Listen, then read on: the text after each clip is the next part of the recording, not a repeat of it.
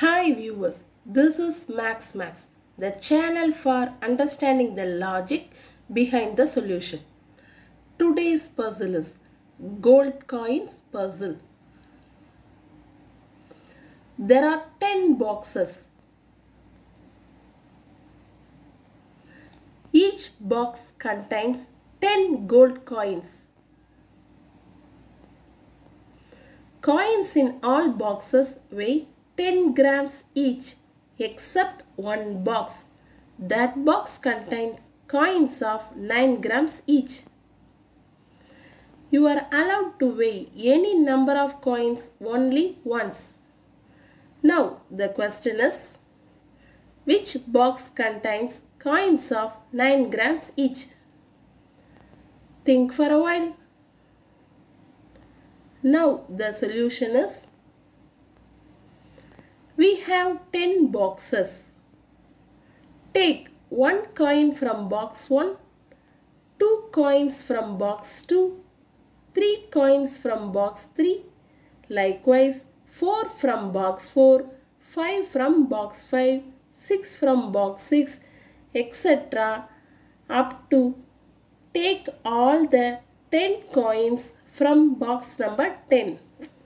Now we are having 1 coin from box 1, 2 from box 2, 3 from box 3, etc. up to 10 coins from box number 10. How many coins totally we are having?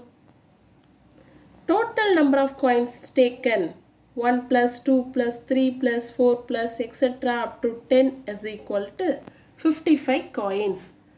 Now we are going to weigh all the 55 coins. What will be the weight? Any guesses? If all the coins have equal weight that is 10 grams each then weight of 55 coins will be 550 grams. But here one box contains coins of 9 grams each. Therefore, weight of 55 coins is not equal to 550 grams.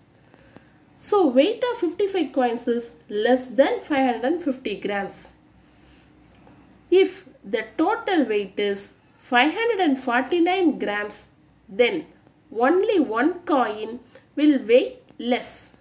From where we have taken that one coin? Yes, that is from box 1. Therefore, box 1 has coins of 9 grams each. The weight of 55 coins is 548 grams, it means that 2 coins weigh less. Therefore, box number 2 has coins of 9 grams each. Likewise, if 3 grams less, box number 3 is the odd man out and so on. Thus, we can find the box which has coins of 9 grams each. Thank you viewers.